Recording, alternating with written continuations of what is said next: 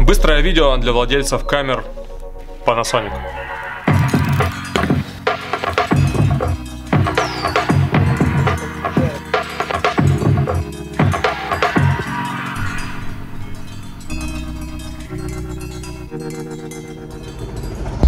Комментах у меня спрашивали, как я подключил камеру к компу, чтобы ноутбук был как монитор. Потом с таким же вопросом ко мне обращались в личку. Я сказал, что понятия не имею, как это делается, и вместо компьютера я подключал камеру к телевизору, к своему огромному вот этому, и он меня по сути был как большой накамерный монитор. По тому же принципу я подключил его просто через HDMI. Кстати, на руках камера GS4, здесь микро HDMI, я буду постоянно крутить ее в руках, потому что на пятерку я сейчас снимаю. Но недавно мне нужно было подключить Panasonic к компу, для того, чтобы во время съемки у меня материал весь сохранялся на жестком, и это была что-то типа трансляции на монитор, чтобы можно было там следить за фокусом, за композицией и менять все настройки при этом.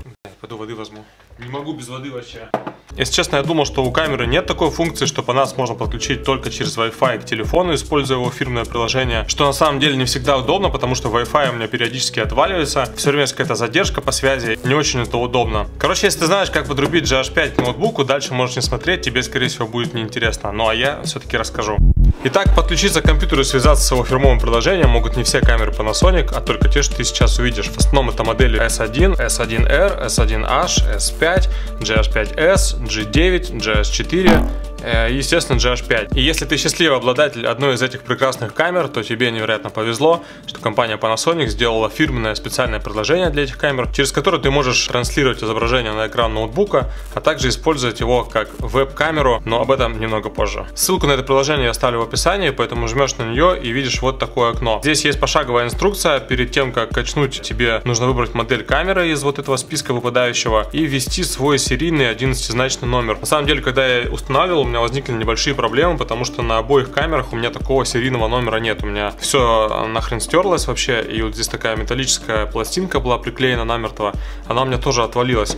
Я начал гуглить в интернете, я не, не первый, кто столкнулся с такой проблемой, и там на форумах люди помогают друг другу, скидывают номера, но сайты были старые, короче, номеров не осталось. Такой номер я взял у своего кореша, благо, что у него точно такая же камера, и он ее использует в менее агрессивных условиях, чем я, у него номер остался сохраненным. В общем, вводишь номер и скачиваешь. Конкретно эта версия подходит для macOS и Windows, а версия, которая превращает твою камеру в веб-камеру, и ты можешь ее использовать на стримах, в скайпах, на каких-то вебинарах, тебе придется установить приложение, которое подходит только под Windows. Так, после установки подключаешь камеру к ноутбуку, например, через Type-C.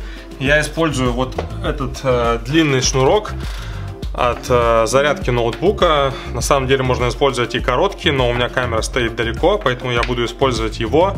Э, помимо Type-C можно использовать HDMI. На самом деле, по-моему, HDMI нельзя использовать. Можно использовать микро-USB, USB, но так как у меня Mac и в нем нет USB входов, а только Type-C, мне даже удобнее использовать Type-C, Type-C. Если у тебя такая же ситуация, есть длинный, HD, длинный USB шнур, то можешь ну, использовать вот такие вот улетел. Использую, короче, такие переходники для того, чтобы подключить камеру. Дальше включаешь, выбираешь э, второй пункт меню PS э, тизер. Короче, подключаешь вот так.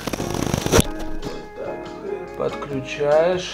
Дальше находишь на компе установленное приложение, которое называется Lumix Teaser. И первое, что ты видишь, это вот такую маленькую панельку, как будто бы это скриншот экрана. Она такая же вертикальная. Дальше для того, чтобы увидеть нечто большее, жмешь вот на эту кнопку LV Live View и разворачиваешь монитор. Примечательно, что, кстати, в таком режиме монитор камеры не гаснет потому что используя первую строчку в меню а, настройки, у тебя монитор гаснет, и ты не можешь его, не можешь в него ничего видеть. Так что теперь у тебя по сути появился дистанционный монитор для камеры. Здесь есть все необходимые настройки.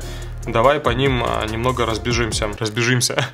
Пробежимся немного по настройкам. Самое основное, про что я бы хотел рассказать, это то, что здесь вот в настройках, когда открываешь, можно выбрать э, очень крутую штуку. Место хранения либо на карте памяти, либо на карте памяти плюс PC, либо просто PC. Это дает мне, что после того, как я устанавливаю запись, а, он мне предлагает, э, где сохранить мои видео. Вот я остановил, и он меня спрашивает, типа, сохранить, и он импортирует видео, которое только что мы записали. Хоп, все импортировалось.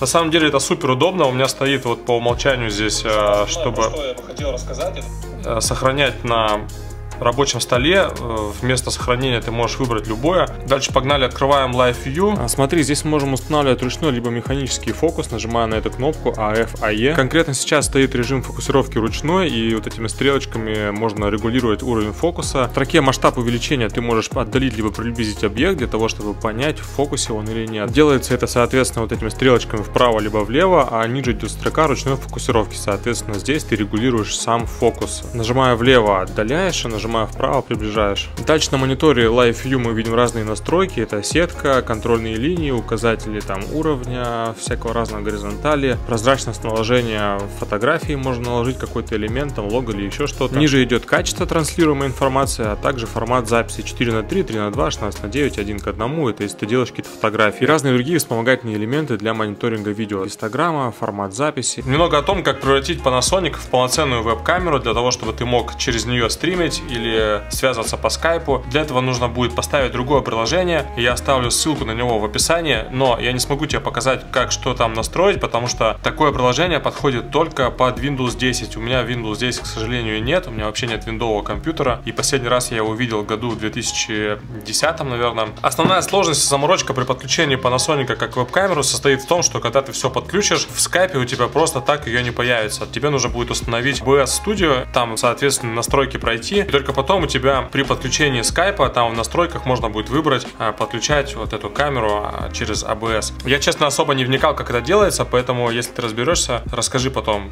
удобно это или нет. В общем, ссылки на оба приложения я оставлю в описании. Версию 1.7 для фото-видео мониторинга в твоем ноутбуке под macOS и версию для Lumix Teaser for Streaming также оставлю в описании. Вдруг у тебя не Mac, а винда, э, ставь ее, через ABS подключай камеру, настраивай и используй ее в скайпах и прочих других приложениях для связи. А на этом все. Надеюсь, тебе было интересно посмотреть. Надеюсь, ты узнал что-то новое, потому что я пользуюсь Panasonic уже 4 года и не знал, что можно подключить компу вот так Пока тебе это не нужно, ты об этом не узнаешь. Хороших тебе кадров, быстрого монтажа. И я думаю, что на этом мы закончим. На этом все.